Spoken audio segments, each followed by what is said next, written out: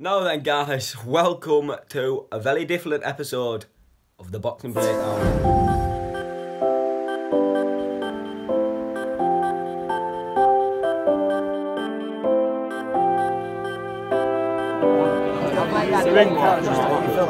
And I can't believe it. As you can see, I'm going to Anthony Joshua versus Usyk in the Tottenham Hotspur Stadium. I'm oh, I can't believe it, honestly. So I wasn't planning to do this, but Connor said that I should take you along with us and get clips. It was an absolute nightmare getting tickets. I don't even want to go into it. It was, it was hard. They sold out, and then there was like four left. I got them in my basket. And then as we were checking out, putting our bank details and whatnot, they sold and I was fuming. I was gutted. Anyway, somehow on the website there was still some left later on. I couldn't believe it. I'm going in a 60 quid seat, I think it is tomorrow. Um, we just got what we could get left and I can't wait. I don't know if the view will be any good, but if, if I don't even know if the event be good, but if it isn't, we know not to go again. But we've got high hopes. The atmosphere for AJ fights is unbelievable. I'm going to the Bolivar's wedding footy game first, so um, yeah, so we'll be getting the we'll be getting the train up to London at about five thirty tomorrow morning, something like that, something mental, and then from there we'll be going to King's Cross Station, London. We'll be getting full English, love it, and then we'll go obviously back to Reading, watch the match, and then we'll have to go from there to our hotel, which is in I think Hackney. I don't know London well, and then from there to Tottenham Stadium. So yeah, hopefully we can get there for all the undercards, or at least like six. I think when the TV undercards start is when we'll aim to get there for. But if if I miss one, I miss one. I apologise, but yeah, it is what it is, and I can't wait honestly. There's some good fighters on. There's Okolie, Campbell Hatton, um, Marco, Calum Smith, obviously AJ Usyk. It's going to be an unbelievable night and my first ever boxing event. I'm taking you with us. If you do enjoy, like, comment, share, all that stuff. And yeah, let's go. Come on, AJ. See you tomorrow. After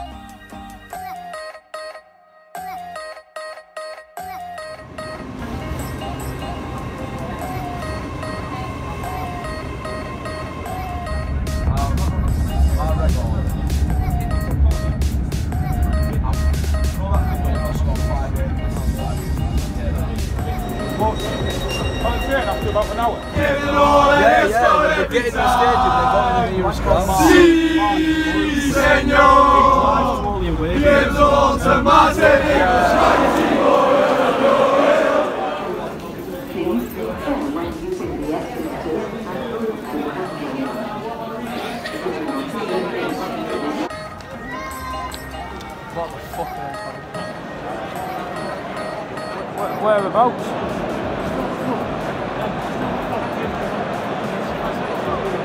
Fantastic seats. Yeah.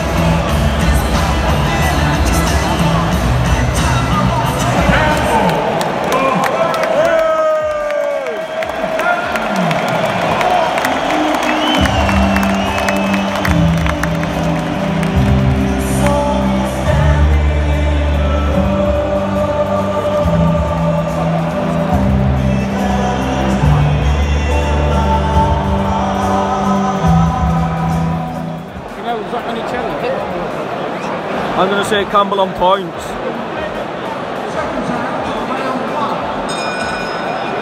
Come on! You know, that many channels. Now, the first shock of the night came when Campbell Hatton controversially won via six rounds to continue his unbeaten life as a professional boxer. Next up is Lawrence Okolie, who's looking to keep unbeaten and defend his world championship.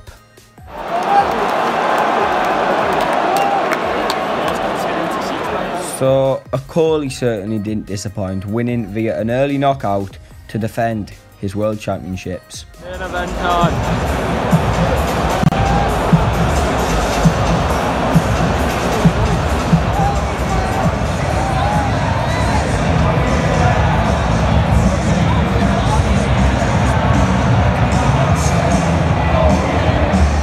Couldn't even believe how I found myself here, if I'm honest. Joshua Usyk for the World Heavyweight Championship. I'm up and down to the toilet every two minutes. I couldn't believe that was here watching it, witnessing it.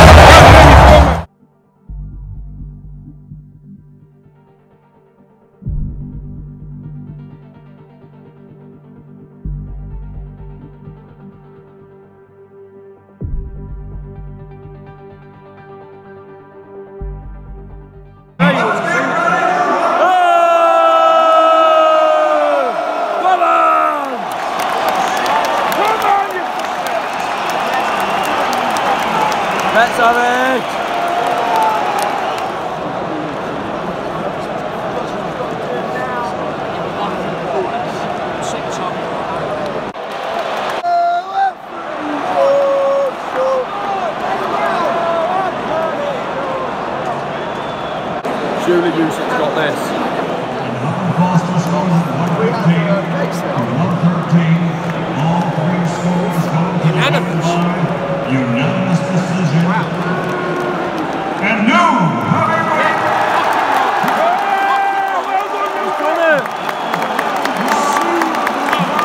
Good decision.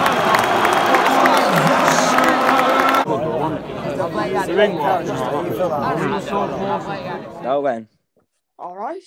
So, How are we? well, yeah. I don't know what you thought of that, but Are you shocked?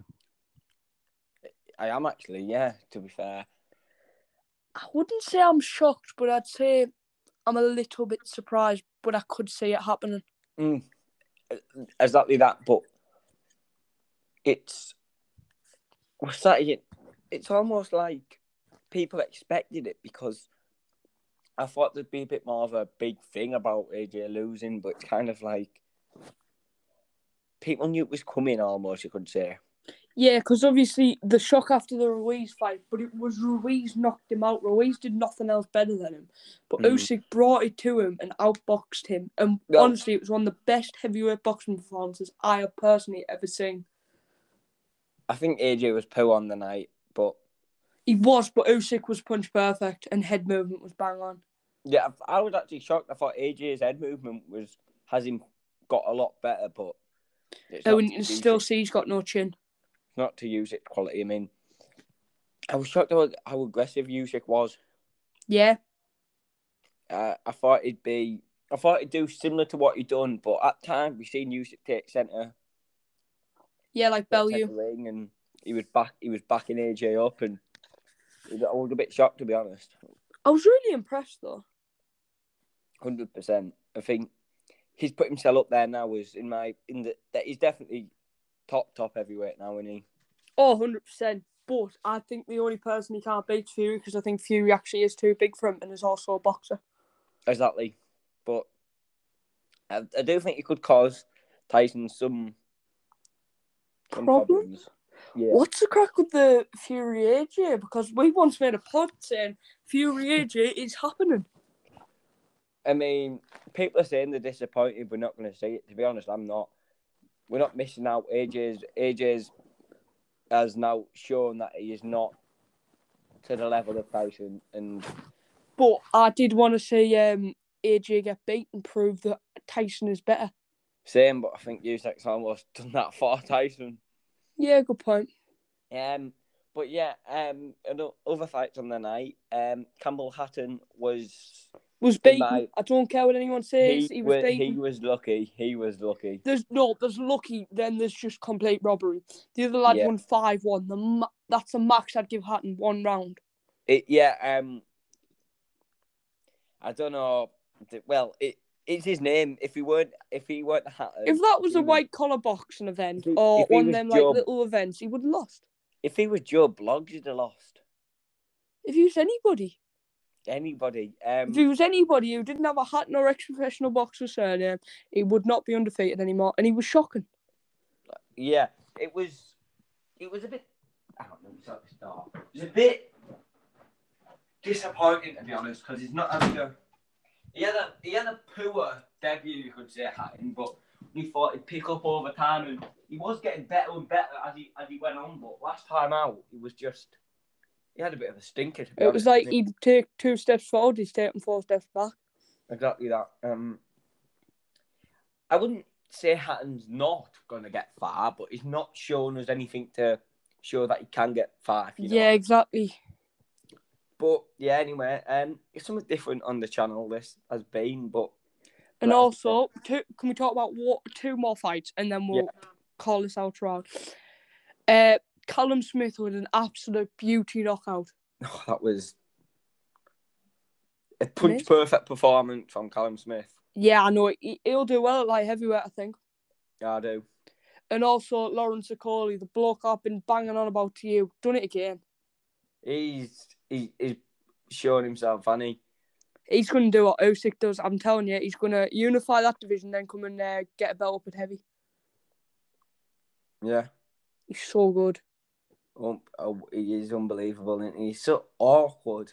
Yeah, but it just works for him. Yeah, but then the only thing you could say about Okolie is could he be as awkward if he moved up the division fighting taller people? Yeah, I can see where you're coming from because he's six five at cruiser. Exactly. But like we say, God, like we say, thanks. Watching Yeah, this. thank you all for watching this. This has been a completely different experience. Also, Joe, what was it actually like? Was it mental?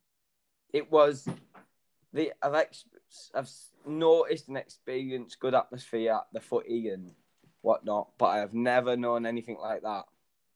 M- mental. unbelievable. Um, yeah, Once in a lifetime experience, do you think? yeah, definitely, yeah. I mean, Class. for a fight of that mag- magnitude, certainly. Yeah, and get tickets. Yeah, definitely. But What was the trick down like? it, was, it was actually quite good to be found on Was it? the train, yeah. That's good, that. But the fans everywhere. But Was yeah, it?